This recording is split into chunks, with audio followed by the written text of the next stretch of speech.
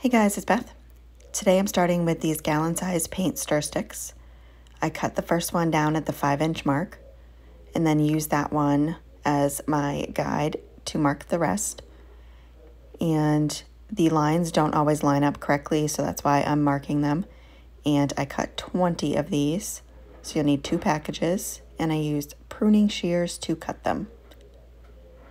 After I had them all cut, I had sanded them down and then I took this 5 by 5 inch frame. The glass slides right out. I removed the glass, put in a piece of cardboard, and then cut that down to size. Added some hot glue and then placed the cardboard down.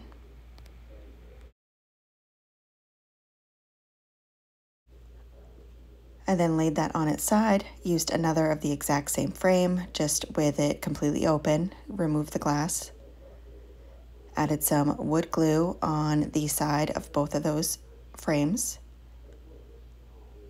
just on one side of it, and then added a little bit of hot glue where I'm going to be putting the stir stick. Just made sure it was flush on the bottom and the sides. And then continued that to fill it in. Each side takes five of the cut down stir sticks.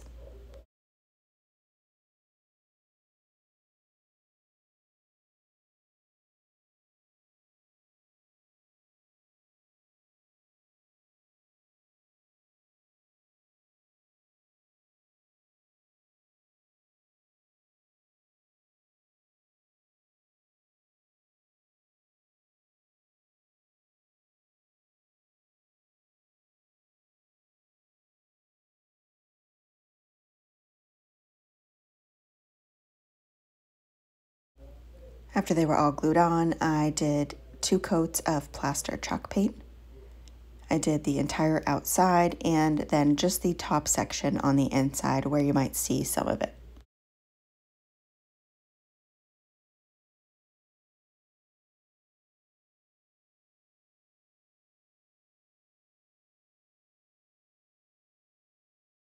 Once the plaster chalk paint was dry, I took beige I'm sorry, Barcelona beige chalk paint and a toothbrush and just a tiny bit of paint on it and kind of just brushed on some of that paint to give it just a little bit of distressing and then took a baby wipe to blend it in.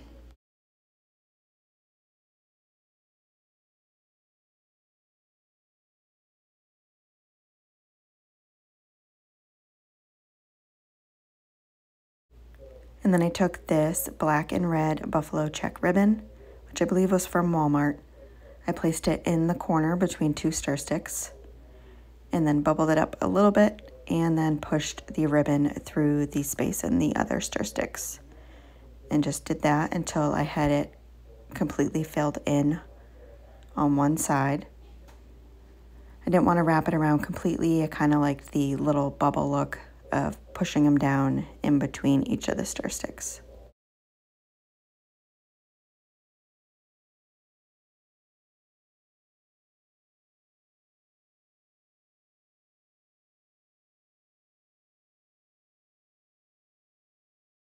And then I cut off some of the excess, leaving just a little bit, enough to tuck it in the corner between the two stir sticks on the other end.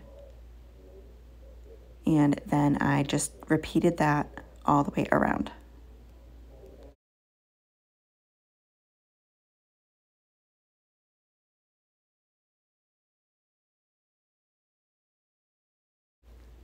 I then took these two trees from Dollar Tree and I took the bottom of them and kind of held them together, wrapped some floral wire around it. I did also end up putting some floral tape around there to keep those together and then took some of the wire and wrapped it around the trunks that go in between the little branches just to make sure it stayed as one tree.